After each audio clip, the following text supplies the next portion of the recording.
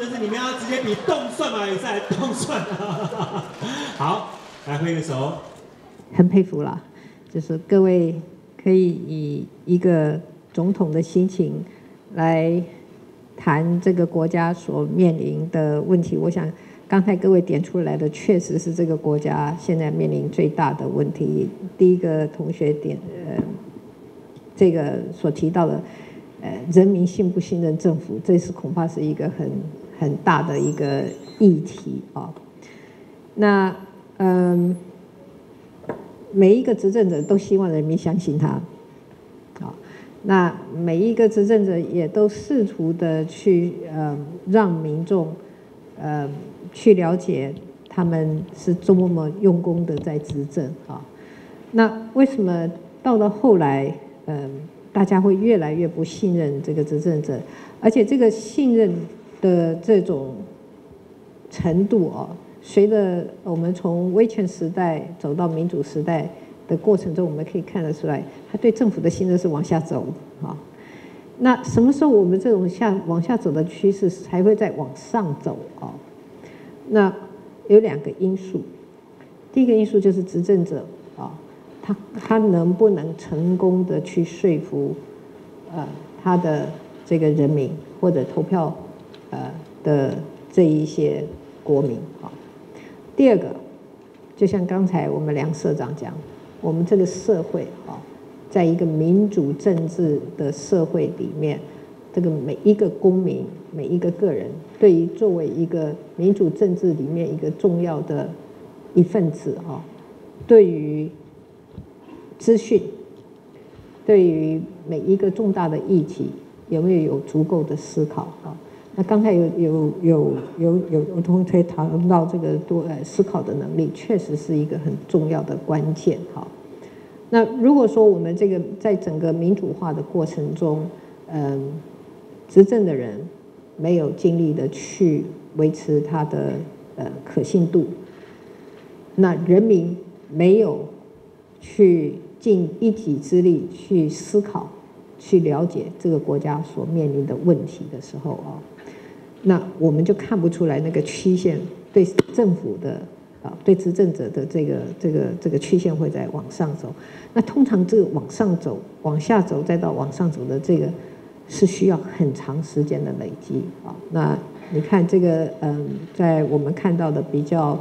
长的这个民主国家，比如说是英国了，或者是美国，它也是上百年的这种民主的实践。那么之后。它才会渐渐的稳定下来，就是说，呃，对于政府的一个信赖，或者是对于选民对于每一件呃公众的议题，他的自己的思考的能力啊，那这些呃都会呃反映在一个民主的品质上。那么即便是如此哦，今天我们看在成熟的民主的国家里面啊，是不是政府就有人民百分之百的信赖，有足够的威信？其实也是一个问号。那为什么呢？因为现代的民主社会里面讲究的是竞争，也就是它必须是有政党的竞争，因为政党必须面临到选举的时候，它必须要有投票，它必须要去说服人民投票，所以政党之间是有竞争的。那也就是刚才我们有个呃第一位同学提到的这个政党之间的竞争，是一个良性的竞争呢，还是变成是一个恶斗？很不小心，它就会变成恶斗啊！但是如果说在政党的这个维持竞争的过程中，大家能够呃去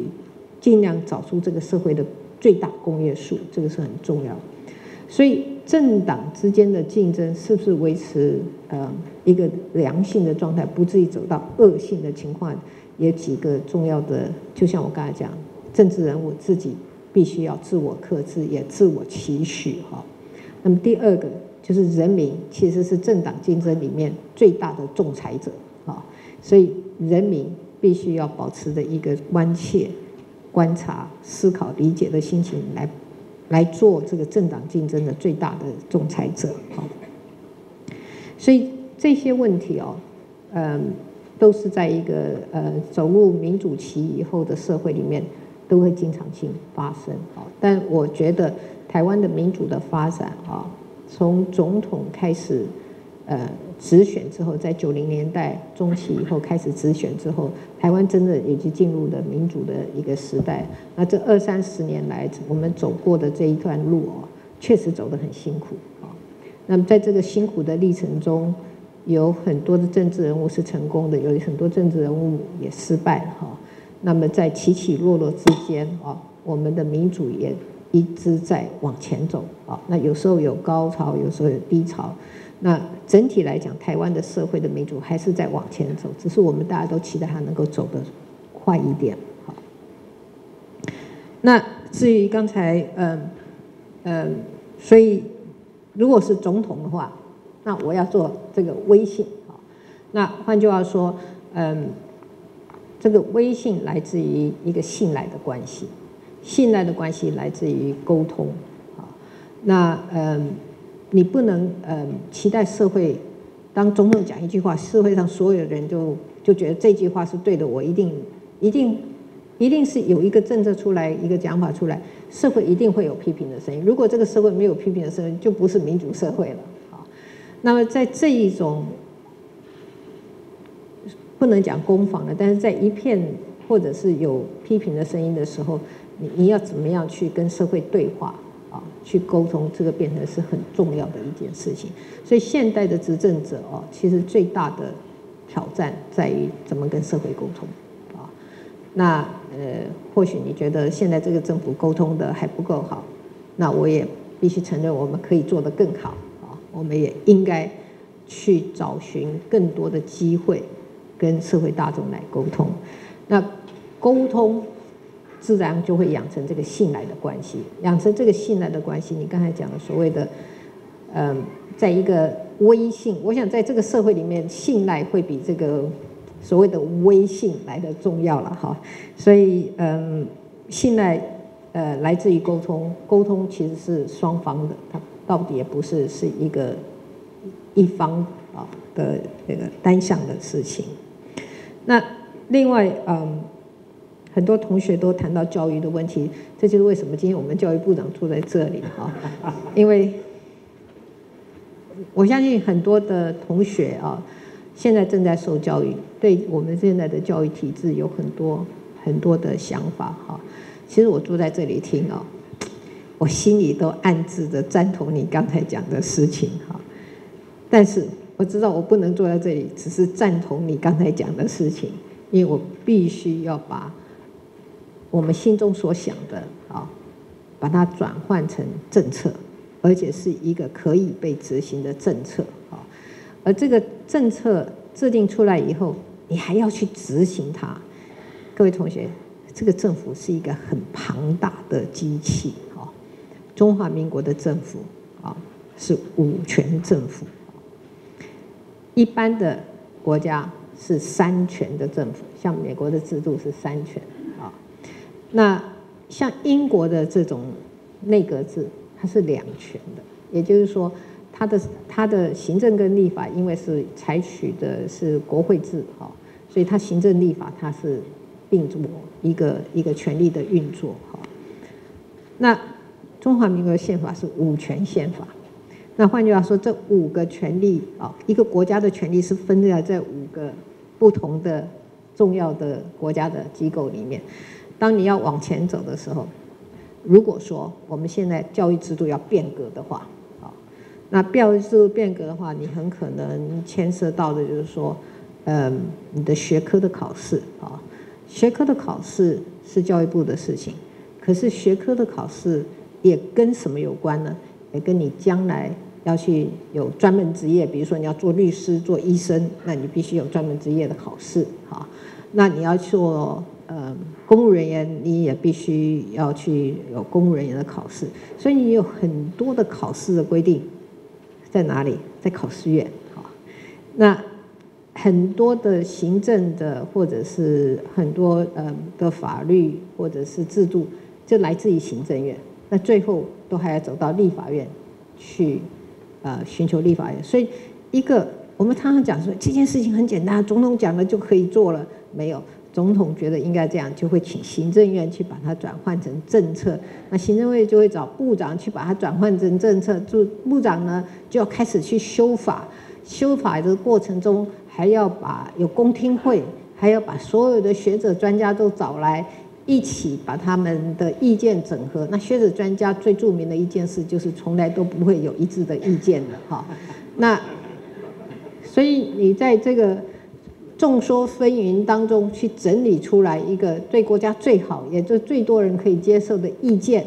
然后把它转化变成是呃国家的政策，然后再送到立法院的时候，各位立法委员最有名的一件事，也是从来都不会有共识的嘛，哈，所以在这个立法院要去取得一个足够的票数去通过的过程。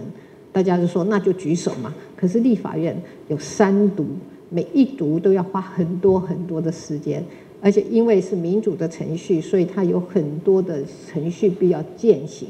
所以就变成说你一个法律要在立法院通过的过程中，就有很多道的程序要经过，很多道的障碍要去排除。那等你把这个都弄完了以后，你就坐下来说。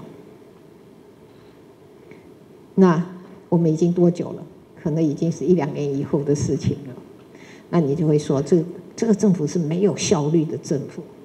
确实是如此，因为体制如此，因为台湾的这个政府的权力啊，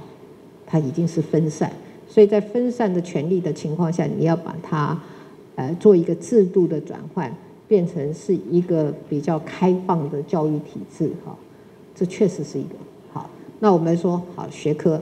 我们要学科要改变好，我们有些学科，因为你你要有一些新的学科进入到你的教育系统嘛，哈，所以呢，你就必须嗯把一些学科拿掉，因为你比如说嗯你有新的学科要进来，有些旧的学科就开始要要淘汰掉嘛，哈，那在新旧之间你要出现一个问题，你的新的学科的老师要到哪里去找呢？那本来在教这个学科的老师，那怎么办呢？那他就没有工作了，那你打算怎么办呢？啊，所以教育制度跟嗯的转换，常常变成是一个跟其他的改革的事情是很像，就是说，当你发生改革的时候，现在正在被改革的人，那他那后面他的人生那条路要怎么走去，你也要替他想一想啊。你如果不替他想，他就没有生存的余地，他必须是站出来反对你啊。所以，嗯，我们看到的、今天听到的各位讲的，我觉得都很好。但是，我们都必须要面临一个事情：民主社会，不一样的意见的人非常多，整合意见，让它变成是一个可以被执行的政策，是一个很重要。而这个国家，我们这个国家还有一个很不一样的政府体制，是五权分立的体制。它要从一个想法转换成政策，变成是立法院许可的法律，它是一，它是要经过一个很漫长的过程哈。所以我不是说你们这些都不好，这些这些的想法都很好，但是呢，嗯，就变成是我们在执政的执政者，他必须要负责的，去把它转换成一个制度，变成是一个可以执行的制度，而最后能够反映在。你们的学习的过程，那这个是一个嗯，执政者的责任吧。不过嗯，刚才讲到的这种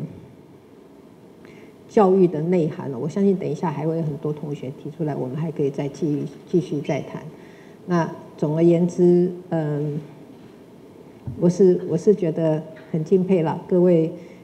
能够想到这些问题，是我。在念高中的时候没有办法想象的问题，